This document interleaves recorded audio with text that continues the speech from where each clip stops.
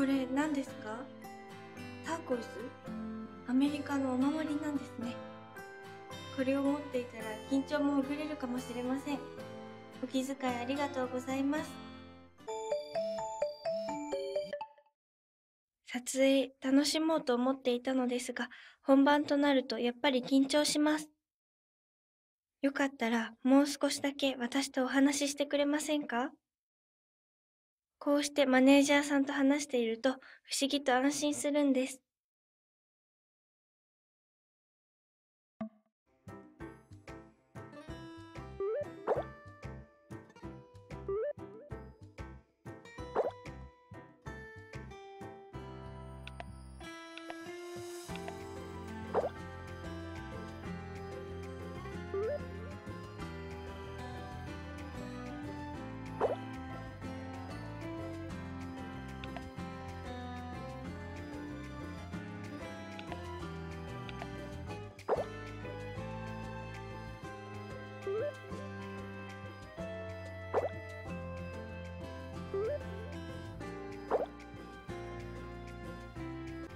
今回はウエスタン風で撮影するんですね。